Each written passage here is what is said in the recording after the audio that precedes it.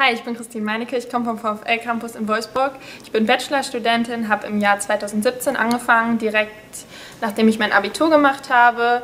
Am Studium besonders gut gefällt mir einfach, dass ich die Möglichkeit habe, so viel Praxiserfahrung nebenbei zu sammeln. Es ist perfekt, dass ich ein Praktika machen kann, ein Praktikum machen kann oder dass ich vielleicht auch als Werkstudentin arbeiten kann, dass ich andere Möglichkeiten einfach habe, zu meiner Theorie auch einen Praxisbezug mehr reinzuholen und nach den drei Jahren Bachelor, wenn ich 21 bin, nicht nur mit der Theorie rauskomme, sondern auch für die Praxis und die richtige Arbeitswelt gut gewappnet bin.